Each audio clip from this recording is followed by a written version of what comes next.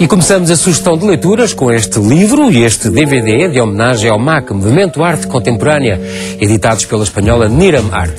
É mais um passo obrigatório e merecido na internacionalização deste movimento, dinamizado por Álvaro Lobato Faria e Zeferino Silva, inspirados em cenas do século XXI, que celebrou os 18 anos com a inauguração de uma coletiva e a festa de entrega dos prémios MAC, que mais uma vez distinguiram este seu magazine preferido das artes.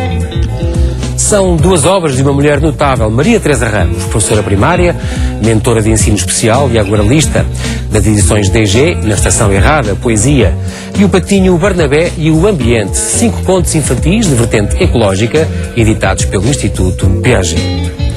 Saudamos uma nova editora, a Abismo, que se estreou lançando na terça este Caríssimas 40 Canções, Sérgio Godinho e as canções dos outros, ilustrado por Nuno Sarava, com grafismo do ateliê Silva Designers. Uma compilação de crónicas do canto-autor que celebra 40 anos de canções saídas no Expresso. Zeca Afonso, os Beatles, Caetano, Bob Dylan, Jacques Brel e The Kinks são alguns dos cantores revisitados.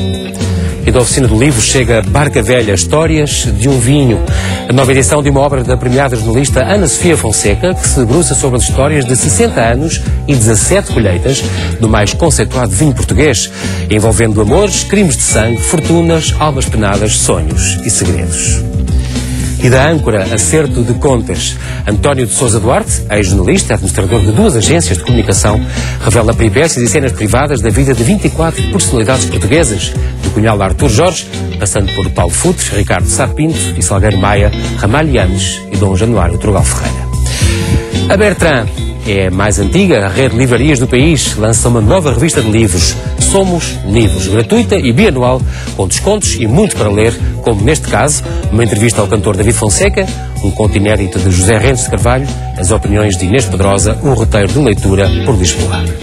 E com a qualidade da BBC está este live a série de 10 episódios em 4 DVDs sobre a vida na Terra, o resultado de mais de 3 mil horas de filmagens em todos os continentes e habitats naturais do mundo, com o milagre da vida de animais e plantas, narrados ou em português ou na versão original por David Attenborough.